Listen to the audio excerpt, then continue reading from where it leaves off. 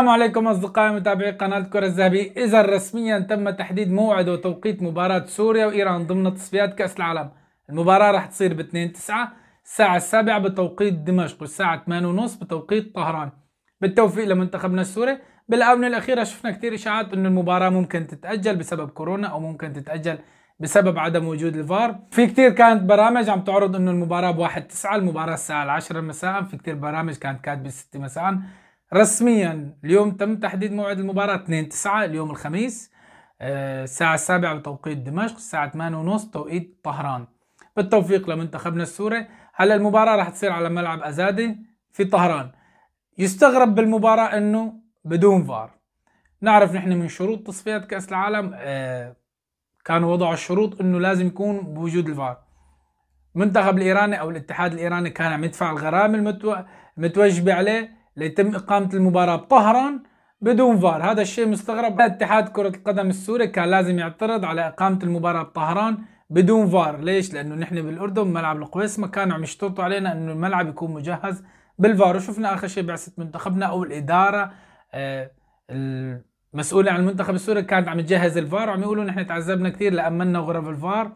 وكل شيء كان جاهز بملعب الأردن. ليش بطهران رح يلعبوا المباراة بدون فار؟ وبيقولوا لك إيران إيه، دفعوا دفعوا الغرامة يلي مستحقة في حال عدم وجود الفار. نحن ما بهمنا الغرامة نحن بهمنا يكون موجود الفار. اتحاد كرة القدم آه، مقصر من هاي الناحية ولا ما بعرف؟ لأنه بما أنه المنتخب الإيراني ما حابين يزعلوا ممكن. ما بعرف بصراحة بس هذا الواضح يعني. وإذا المنتخب الإيراني نحن بهمنا نوصل لكأس العالم ونستفيد من المباراة بغض النظر مين آه، الفريق المقابل بالنهاية هاي كرة قدم.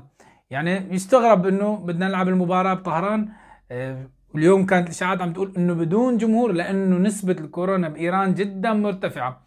يعني صار بدال السبب سببين عدم وجود آه، فار آه، نسبة الكورونا جدا مرتفعة. اتحاد كرة القدم السوري لو شوي مستخدم القوانين وضاغط شوي على اتحاد الفيفا أو على الاتحاد الأسيوي كان ممكن إنه نلعب المباراة بأرض محايدة. يعني ما ضروري نلعبها بطهران. يمكن أنا سبق وحكيت يمكن إنه منتخب إيران ما حابين يزعلوا المنتخب الإيراني. بالنهاية نحن اللي بهمنا التوفيق للمنتخب السوري بالتوفيق لمنتخبنا السوري. أهم شيء إنه نبلش المباراة بثقة ما ما يكونوا اللاعبين شوي متلبكين خاصة إنه كبداية. كبداية كأول مباراة ممكن نحن نستفيد إنه بداية التصفيات دائما دائما بصير مفاجآت. كل المباريات بصير مفاجآت. فبتمنى من قلبي إنه أقل شيء نطلع بنقطة تعادل كبداية وخاصة المباراة الثانية رح تجمعنا مع منتخب الإمارات.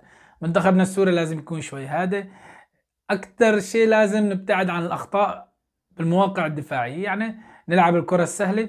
بتمنى من القلب توفيق لمنتخبنا السوري هلأ غياب عمر السومة يعني غياب مؤثر بس إن شاء الله منتخبنا السوري بمن حضر بالنسبة لقدوم محترفين المنتخب السوري أنا حكيت بالفيديو السابق فيكم تحضروا. يعني صارت الأمور شوي صعبة وعم تتصعب علينا والمحترفين عم يصعبوها علينا.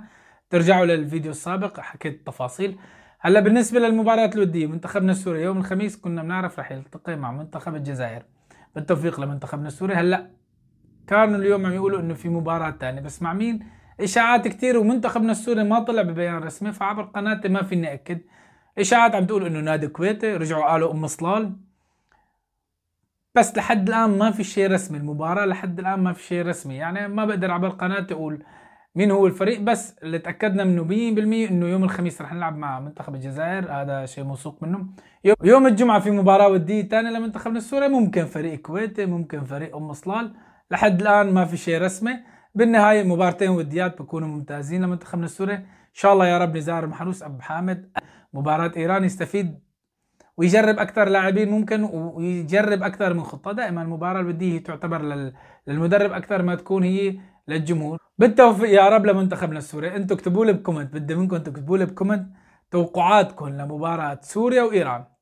ما بدنا المباراة الودية. أنا بصراحة ما بتهمنا كثير. هي بتهم المدرب ما بتهمني عليه. بدي تكتبوا لي ب comment توقعاتكم لمباراة سوريا وإيران. قديش رح تنتهي؟ اكتبوا لي بالأرقام.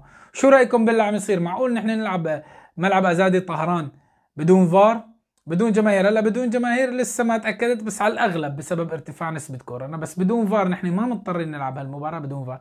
اكتبوا لي السبب إنه ليش اتحاد كرة القدم السوري كان عم يقبل إنه يلعب المباراة بدون فار. لمجرد إنك تعترض أنت بحق لك إنك تطلب نقل المباراة إلى بلد ثاني كثيرين كانوا عم يسألونا مين راح يكون محل عمر السومة بمباراة الإياب؟ هلا منتخبنا السوري بمن حضر. بصراحة عنا كثير لاعبين أكيد ما مثل عمر السومة بس عندنا عمر خريبين عندنا علاء الدالي عندنا محمود البحر هداف الدوري السوري. هلا محمود البحر مشاركاته مع المنتخب السوري شوي خجولي وما عنده الخبره بالنسبة فينا نقول خبرة الدولية. هو هداف الدوري السوري هداف محلي بس الدالي يكون بديل بالشوط الثاني أو آه، بين الشوطين. بس على الأرجح انه عمر خريبين راح يشغل قلب الهجوم محل عمر السومة. هلا بالنهاية التوفيق من رب العالمين. عمر السومة لا يعوض لأنه عمر السومة بصراحة يعني نكون نحن واقعيين في كثير. حطوا لي comment. أنت عم تبالغ محسسنا عمر السومة هو ميسي. عمر السومة من لا شيء يصنع شيء. يعني من كرة ميتة من كرة أنت بتفكر أنها ما فيها خطورة. طب بيصنع لك هدف جول. دبلتيك لاعب رائع جدا. يعني فينا نقول عمر السومه من أفضل اللاعبين في آسيا وأفضل لاعب منتخبنا السوري. ليش نحن بننكر هالشيء؟ نحن لا نعم نكبره لعمر السومه ولا نعم نصغره. نحن لا قادرين نكبره ولا قادرين نصغره. هو لاعب كبير. خلص عمر السومه معروف. شوفوا ردة فعل جمهور آه، المنتخب الإيراني. كانوا مبسوطين. شوفوا الإعلام عندهم إنه عمر السومه ما راح يلعب. دليل إنه لاعب كبير. تعويضه صعب. سبق حكينا الأسماء. ممكن عمر خريبين ممكن علاء الدالي.